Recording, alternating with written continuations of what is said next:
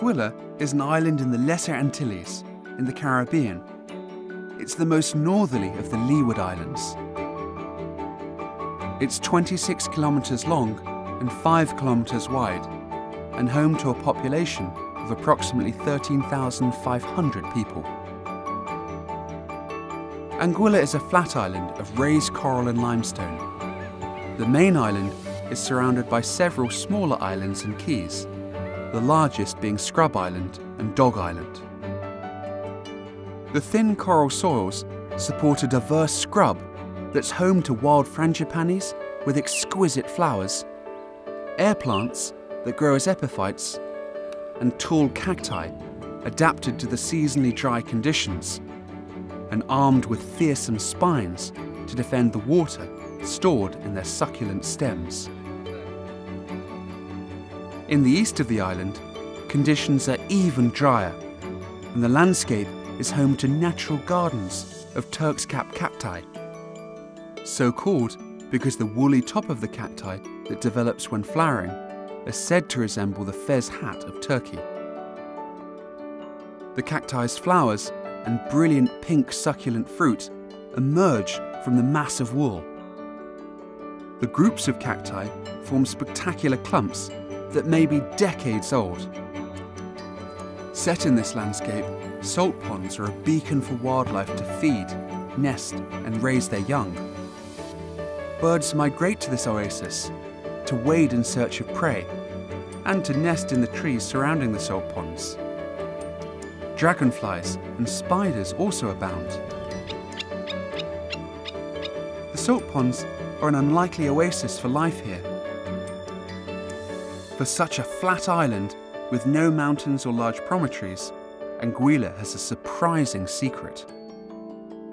The limestone bedrock of the island is riddled with caves and vast chambers that form a secret underground world. The caves here form networks of passages that can be many kilometres long. The ceilings of the caves are home to bat colonies. The island is home to at least five species of bats, some of which act as pollinators and are ecologically very important.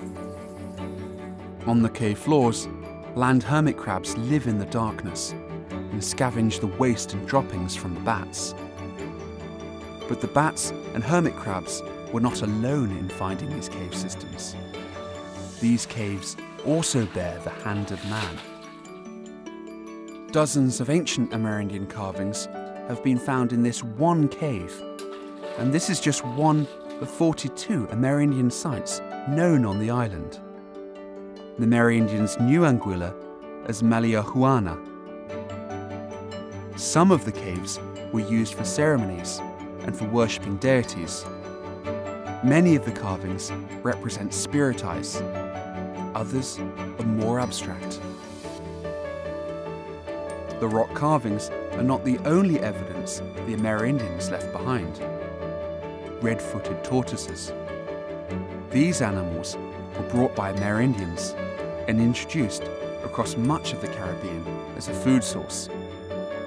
The ancestors of these tortoises were originally carried from South America on the Amerindians' canoes, and the population introduced here has since flourished. In more recent times, European settlement introduced rats and mice to Anguilla and many of her surrounding islands. But here on Dog Island, a major rodent eradication effort has taken place, and in 2014, the island was declared rat-free. Seabirds did exist with the rats, but in depressed numbers. Now that the rats are gone, it's hoped that the seabird numbers will increase dramatically. Already, Dog Island is home to hundreds of thousands of birds, including hundreds of magnificent frigate birds, masked boobies, brown boobies, bridled terns, brown noddies, and many other species. This conservation success really matters because this enormous concentration of seabirds migrates across the entire hemisphere. So protecting these small islands as nesting hotspots is of global importance. Anguilla's offshore islands are refuges not just for birds. This is Little Scrub Island. It's less than half a kilometre in size,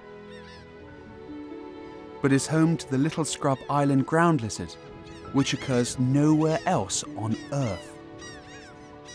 And the territory is also home to a unique plant, Rondeletia anguillensis, and several other taxa that occur only here and on islands nearby.